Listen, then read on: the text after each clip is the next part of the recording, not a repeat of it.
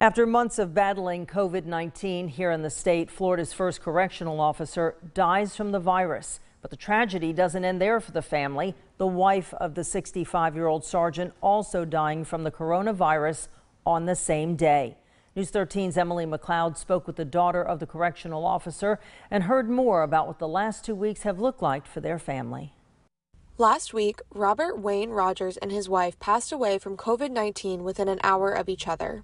I just want people to know that this virus is real and it stole my parents. Rogers had worked for the FDC for nearly 30 years.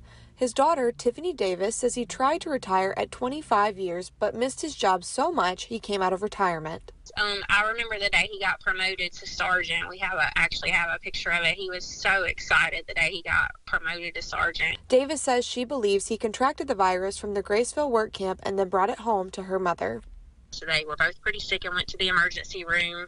Roger's daughter, who is a nurse, was shocked to find out that her parents weren't even fully aware if they had been tested for the coronavirus when they were first admitted to the hospital. I was like, Are you sure? Um, and then we were after them, you know, to like, do you need to go to the doctor? Like, you need to go back to the emergency room. And they just kept saying, you know, no, that the emergency room had told them they just had a virus and, you know, that they would be okay. And Rogers and his wife's condition quickly worsened and went back to the hospital a second time. I really think that maybe if they could have got some, you know, earlier treatment, you know, maybe the outcome would have been different. Maybe, I don't know.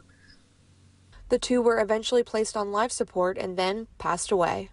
COVID doesn't care who you are, and it's strange how it chooses one person to just ravage, and then the next person, you know, they might test positive and not have any symptoms.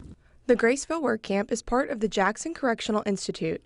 As of Tuesday, the Florida Department of Corrections reports for Jackson CI no positive tests among inmates and 21 positive tests for staff. However, the prison reports only 11 inmates have tested negative, while their capacity is over 1,300. In Jackson County, Emily McLeod, News 13, Panhandle Strong.